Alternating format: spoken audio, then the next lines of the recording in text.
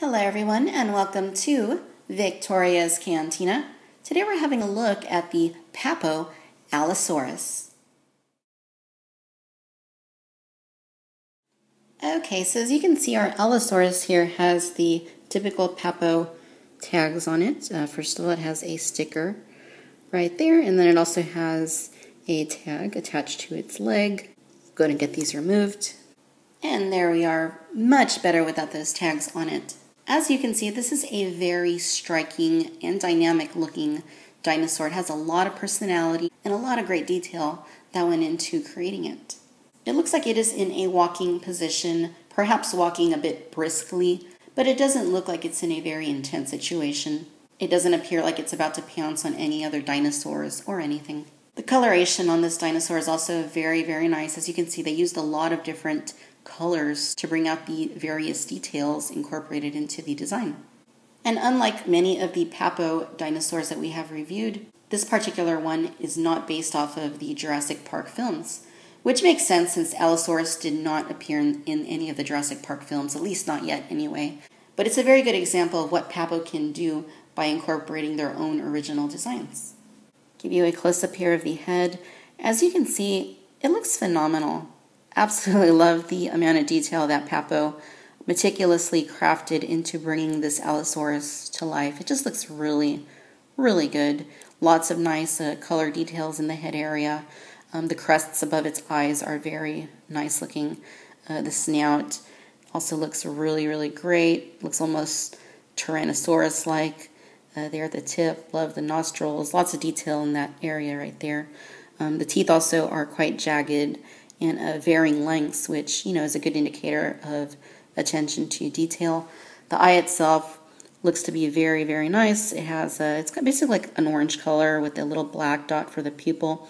You can see these little spines here um, on the neck, which uh, carry on all the way through the body and then uh, through the length of the tail, which is very cool. Other side of the head just looks really really good. I think this actually looks very organic, very natural. Doesn't look particularly uh, scary per se.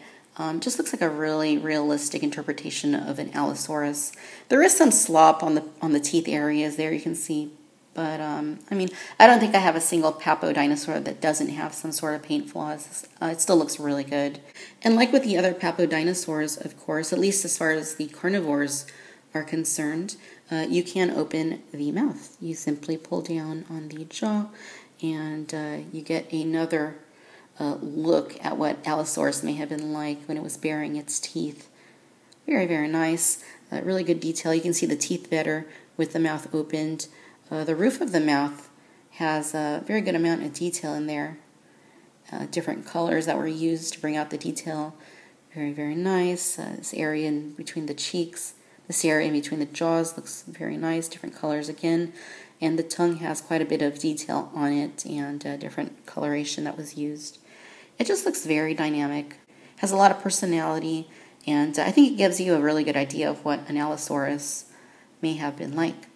For the colors, you can see that it's basically like a deeper green here up front. It has this more vibrant sort of orange right there in the uh, near the eye, and then uh, you know you get more of a cream or like a greenish cream color underneath the neck, and then uh, more of the orange back here in the neck.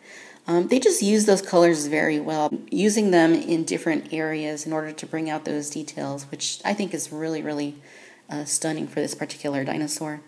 The neck area looks really good. You can kind of see what looks maybe like a seam there. That maybe that's where they put the uh, the head of the dinosaur on. Um, but just looking at the body, you can see plenty of detail on it. The scales look fantastic. And uh, again, like I was saying with the head, they just use those colors very wisely on this dinosaur and just kind of spread them throughout. You can see those different colors on different parts of the body. Uh, the chest area has like these larger scales on it.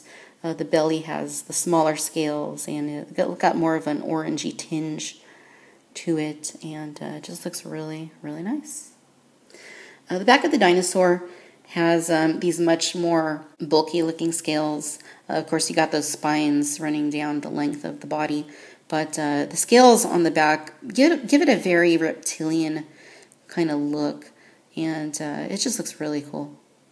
Um, interestingly, the spines back here are very long, which you wouldn't really expect, but uh, you know, very cool artistic interpretation of an Allosaurus. The arms are kind of just hanging there, as you can see. It's not really using them to do anything, but the level of detail on them is very, very good. You can see the uh, the way that they sculpted the hands like that. Just looks really good, kind of almost bird-like, you know, the way they position their wings when they're not flying. And they used like a brown coloring to bring out the details there on the fingers, and I think the hands just look terrific. This one's almost kind of like barely touching on its leg right there, which uh, the legs itself, very, very nice. They certainly look quite powerful and muscular, very, very uh, dynamic in appearance. They also used like um, this uh, brown color here, like what they did with the hands, uh, down here on the knees, and then on the, the front of the uh, the shins, and then on the toes, which is pretty cool. It's got its black toe claws. Looks quite nice. You can see uh, the ribs right there on the side of its uh, body. And then the tail has a very nice look about it as well. Uh, I really like how it uh, kind of curves like that, and it looks to be an adequate length as well. Just very nicely uh, sculpted, very nicely detailed. Uh, I think that they really knocked this one out of the park, so to speak. Now, I do got to tell you that this was my second Allosaurus. The first one that I got just didn't stand. I would position it on the surface, and uh, after a few minutes, it would just fall sideways like that.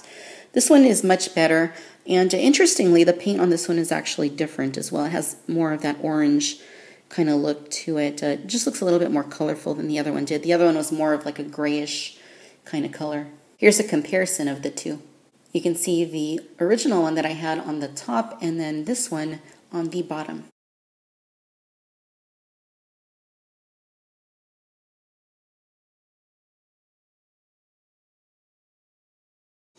And then here's a look at two Jurassic dinosaurs encountering one another. Of course, Allosaurus and Stegosaurus did live during the same time period. Allosaurus specimens have been found with wounds that were quite likely inflicted by stegosaurs. So if you were around back in the Jurassic period, you no doubt would have witnessed this sort of encounter. I think they're scaled together quite nicely. The stegosaurus might be a little bit too large, but you could chalk it up to saying that the Allosaurus is perhaps not fully grown. I think they look really good together, and if you wanted to have these two in a diorama on a shelf, that they go together quite nicely. All right, ladies and gentlemen, so there you have it. This is the Papo Allosaurus. Overall, I must say that I'm very, very pleased with this particular dinosaur.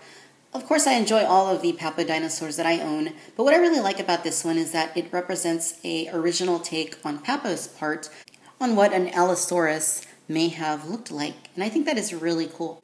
Papo has been releasing more original designs for their dinosaurs, and I think that's excellent. I really like their Jurassic Park inspired dinos, but uh, it's also nice to see something like this. The sculpt work on this one is absolutely excellent. Uh, the level of detail that was created here is impeccable. I also must say that the pose adds to that striking appearance of this dinosaur.